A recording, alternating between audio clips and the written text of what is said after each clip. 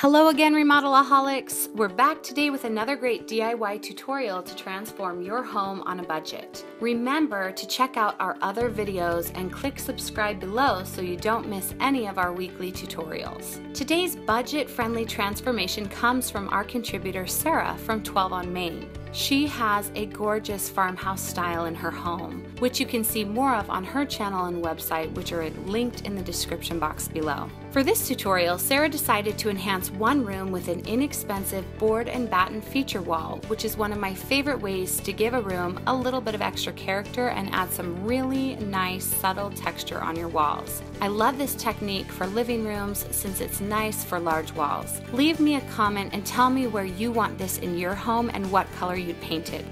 I'm always a fan of white, but board and batten looks beautiful in any other color too. Sara chose to have her board and batten go the full height of the wall and the floor to ceiling look is gorgeous.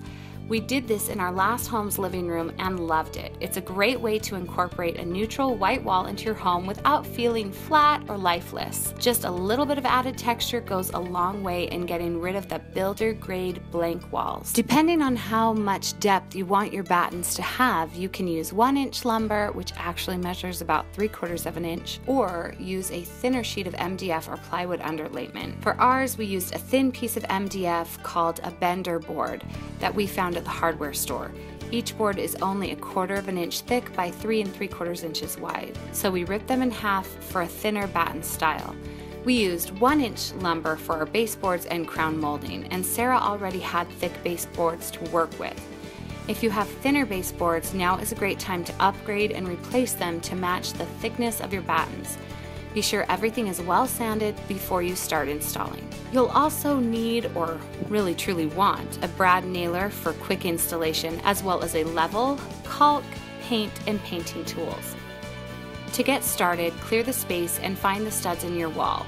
You won't be able to nail every batten into a stud, but it's helpful to know where the studs are located. You'll start by installing a trim piece at the top of your wall, nailing it into each stud. If you'd like to have your board and batten go only part of the way up the wall like we did here in our former master bedroom, then you'll install a top horizontal board at whatever height you like, based on your style and the other elements in the room, such as doorways or windows. Next, measure wall and determine how many battens or vertical pieces you want to install and how far apart they should be. Equally spacing your battens makes a big difference in making your DIY wall treatment look professional. It's worth a little bit of extra time and math to calculate before you dive into the project. Let me break it down for you, and don't be afraid to grab a pen and a paper and sketch it out too. We have more details on a post in our blog, so check that out in the link in the description box below.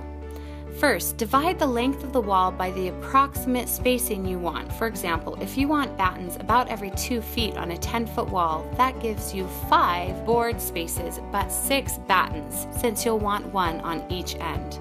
Since we're determining the distance between the battens, we can't forget about the width of the battens themselves. So multiply the width of the battens by the number of battens. For example, a 3 inch batten times 6 battens is 18 inches. Subtract the total width of the battens from the total width of the wall. For example, a 10 foot wall, subtract 18 inches, leaves us with about 8.5 feet or 102 inches. Divide that number by the spaces you'd like on your wall. For example, 102 inches divided into 5 spaces gives you a width of 20.4 inches, or just under 2.5 inches, between each batten so you can measure as you install each batten. To save some measuring time, cut a piece of scrap wood to that exact length and use it as a spacer along your wall, like Sara shows here in the video. If you're doing multiple adjoining walls, keep the spacing consistent along each wall even if it's not exactly the same on different walls. Once you've calculated and marked your batten spacing or cut your spacer, you're ready to install your first vertical batten. Measure the vertical distance and cut your piece accordingly. Place it where you want to install it, such as a corner, and use a level to ensure that it's perfectly straight vertically. Attach the batten by nailing every 6 to 8 inches down the wall. If you'd like some extra security, you can run a bead of wood glue or my favorite would be construction adhesive along the back side of the batten that will be in contact with the wall. Using your spacing block or measuring, slide your next batten into place.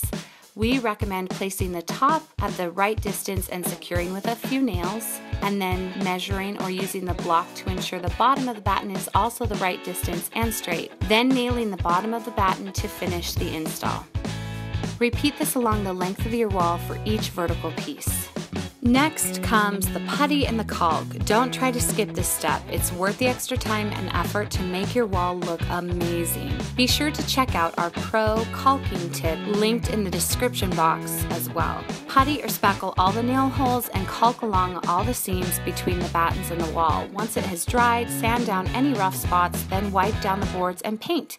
You can paint the wall before you install the battens if you'd like, or you can paint it all after installing. Sara prefers a roller to paint between the boards and the tops of the boards, then she cuts in with an angled brush to do the cracks and the corners. But I also really love a good foam brush, so you can try that as well. Once your paint has dried, you are done. Move the furniture back in, hang some art, and pat yourself on the back for making your home beautiful. Pair your new wall treatment with these easy doorway corbels for a gorgeous custom style. Thanks for watching and don't forget to click subscribe below and give this video a thumbs up. It really helps us, and we will bring you new videos soon. See you later.